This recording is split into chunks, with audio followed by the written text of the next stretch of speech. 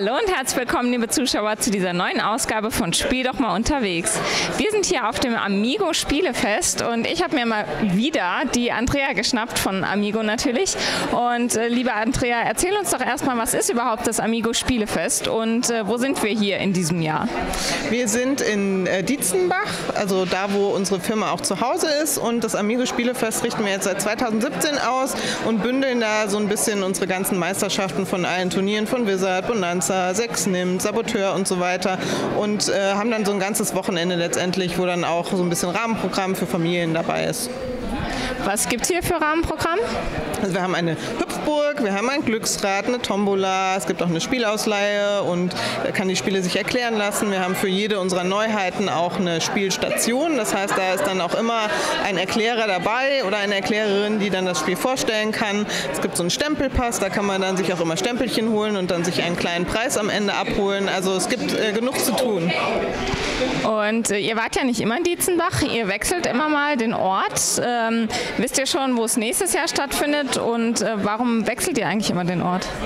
Also wo es nächstes Jahr stattfindet, wissen wir noch nicht hundertprozentig, aber wir versuchen so ein bisschen jede Region auch mal äh, abzuholen sozusagen, dass jetzt jemand, der in Berlin wohnt, nicht jedes Mal 600 Kilometer fahren muss, sondern vielleicht auch mal ein bisschen näher hat und äh, deswegen wollen wir es immer ein bisschen reisen lassen, damit jeder mal eine etwas längere und eine etwas kürzere Anreise hat.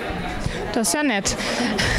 Jetzt ähm, habt ihr ja hier Turniere, hast du gerade schon angesprochen. Welche Turniere gibt es denn hier und wer kann da mitmachen? Also jetzt gerade am Samstag haben wir das große ähm, Wizard-Turnier. Das ist auch das mit den meisten Teilnehmenden. Äh, das richten wir auch schon seit 2008 aus. Also das hat auch eine längere Tradition. Äh, übrigens, Fun Fact, das hat das erste Jahr auch hier stattgefunden. Also wir sind zurückgekehrt sozusagen. Ähm, und das findet jetzt den ganzen Samstag statt. Und sonntags haben wir noch ähm, Bonanza Messer, sechs nimmt, Saboteur und Set. Also auch eine ganze Menge. Und mitmachen kann jeder, der Lust hat? Bei äh, Wizard und bei Sechs nimmt gibt es äh, Vorrunden, also da muss man sich qualifizieren, bei Saboteur ebenfalls und die anderen sind tatsächlich frei. Also da kann man auch noch entweder hier mit einem Last Chance Qualifier spontan sich ähm, dazu entschließen mitzumachen oder bei Set kann man einfach vorbeikommen. Jetzt haben wir uns ja schon eine ganze Weile nicht mehr gesehen. Erzähl doch mal, wie ist es Amigo in den letzten Jahren, muss ich ja jetzt sogar schon sagen, ergangen? Ja, also wie das eigentlich mit den meisten Spieleverlagen ist, äh, hatte Corona den, äh, ja, ein, einer der wenigen Vorteile an Corona war, dass die Leute wieder zu den Brettspielen und Gesellschaftsspielen zurückgefunden haben. Von daher äh, war Corona für uns jetzt äh, eine Zeit, wo wirklich auch viel gespielt wurde, wo wir uns da nicht beklagen können.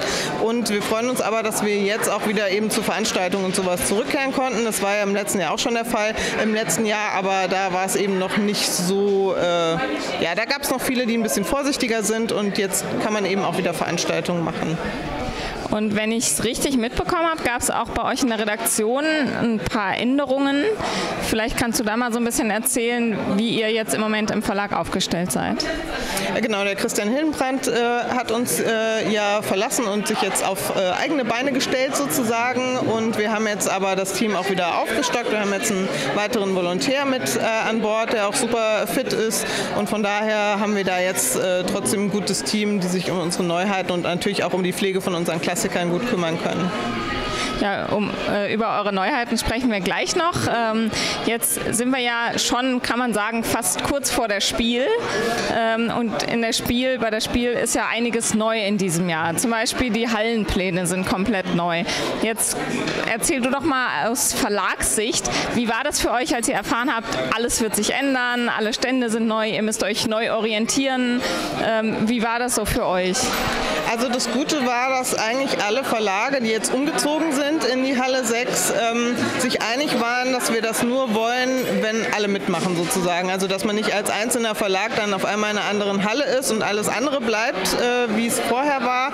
Und da waren sich alle einig und deswegen haben auch alle an einem Strang gezogen. Und deswegen ist es jetzt, äh, natürlich ist eine Veränderung immer spannend, weil man nie genau weiß, wie sieht es jetzt genau aus, wie sind so die Gänge, wie kommt man wohin und so. Aber es sind eben alle mit umgezogen angezogen ähm, von den Verlagen, die eben sich auch mit Familienspielen wie wir beschäftigen und von daher glaube ich, dass das gut wird. Das klingt doch ganz gut. Jetzt sprechen wir über eure Neuheiten. Du hast sie auch hier auf dem Tisch liegen.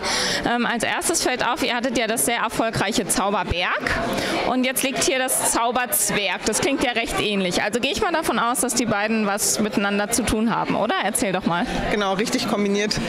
Das ist quasi die Fortsetzung auch der Geschichte von äh, Zauberberg. Also ähm, die, Zauber, die Zauberlehrlinge sind jetzt ähm, unten angekommen und es geht jetzt weiter zum Zauberzwerg Rupert, der ihnen für ihre Zauberstäbe aus seiner Mine Zaubersteine organisiert und sie müssen eben zu Rupert kommen. Da sind auch wieder die Hexen auf demselben Weg und ähm, jetzt hat man aber keinen 3D-Aufbau, sondern es ist so ein Weg aus so Puzzleteilen gelegt und drumherum wie die Wälder, wie die Bäume sind die Karten, die man dann umdrehen muss und entsprechend was zu sehen ist. Also ist ein Zauberlehrling oder eine Hexe mit welchem Irrlicht, welcher Farbe, kann man dann gemeinsam entscheiden, welche Figur man wohin setzen möchte. Kann man vielleicht einen großen Sprung machen oder vielleicht nur ein, zwei Felder. Also also man hat trotzdem dieses Zauberberggefühl, aber es ist eben ein etwas kleineres Kartenspiel. Und war zuerst das Kartenspiel da und ihr habt dann gesagt, ach, das passt ja gut als Fortsetzung oder war gleich die Idee geboren, wir wollen eine Fortsetzung und dann entstand das Kartenspiel? Also das äh, Spiel ist schon von den beiden Autoren äh, an uns herangetragen worden als konkrete Fortsetzung. Es ist nicht so, dass man sich gedacht hat, ach, jetzt ist das Spiel da und dann modeln wir das irgendwie um, sondern das war schon so konzipiert als Zauberberg-Nachfolger, äh, sage ich jetzt mal.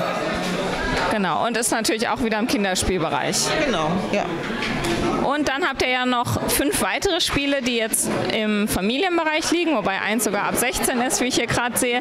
Dann würde ich sagen, erzähl uns doch kurz zu jedem Spiel ein bisschen was. Ja, gerne. Dann starte ich doch mal mit dem, äh, mit dem etwas höheren Alter, das Unsolved. Da haben wir letztes Jahr ja schon einen Fall rausgebracht.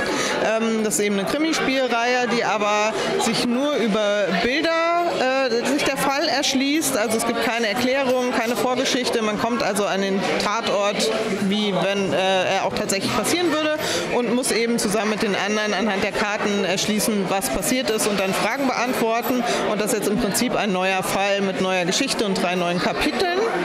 Dann haben wir äh, The Academy, das ist ein Stichspiel, wobei es eben da nicht nur einfach reicht, möglichst viele Stiche zu machen, sondern jeder Spieler hat oder jede Spielende eine Rolle pro oder eine Aufgabe pro die man erfüllen muss. Also es gibt zum Beispiel den Captain und den Teamplayer, die zusammenspielen und gemeinsam mehr Stiche haben müssen als ähm, das Mastermind zum Beispiel. Und Mastermind muss, ungefähr, muss mindestens genauso viele Stiche machen wie die beiden. Also jeder hat so seine Rolle, die sich aber pro Runde auch immer weiter drehen. Also es ist jetzt nicht so, man hat am Anfang Pech und eine Rolle, die einem nicht passt, sondern jeder schlüpft mal in jede Rolle. Und wenn man seine Aufgabe erfüllt hat, dann bekommt man Auszeichnungen. Wenn man drei Auszeichnungen hat, kann man theoretisch das Spiel beenden und gewinnen. Man muss dann aber am Ende äh, die ähm, lila Sieben, das Ass aus dem Ärmel, in einem seiner Stichen, Stiche haben. Dann hat man erst gewonnen. Also es hat so ein paar Kniffe. Es gibt auch noch Sonderregeln während äh, der Runden, die dann noch mal ein bisschen äh, Pep reinbringen. Also es wirklich, äh, hat sehr viele Kniffe, die es noch mal besonders machen. Dann haben wir noch äh, Zebra. Äh, es ist eins ähm, der Spiele vom, mit Golfprinzip. Also da gibt es ja auch mittlerweile einige mit äh, Skyjo. Wir haben Bibergang ja auch bei uns oder Biberbande, wo man seine Auslage optimieren muss. Das ist hier auch so. Man hat jetzt aber anders als bei den anderen äh, Spielen, wo man seine Auslage optimiert, mehr Möglichkeiten. Also ich habe meine Auslage, kann aber auch mit anderen tauschen. Also wenn ich in der Auslage eines Mitspielenden was habe, kann ich mir das nehmen unter bestimmten Voraussetzungen. Ich kann Sets nicht nur durch Zahlen, sondern auch durch Farben äh, ändern. Ich kann auch innerhalb meiner Auslage Karten tauschen. Also es hat noch mal ein bisschen mehr Dynamik, ähm, dass man nicht nur so vor sich hin spielt, sondern auch mit den anderen äh, in Kontakt ist sozusagen. Genau, dann haben wir noch ähm, Kabanga. Das äh, ist ein ja, Legespiel, sage ich mal. Es geht darum, seine Handkarten loszuwerden. Das sind Zahlenkarten von äh, 1 bis 18.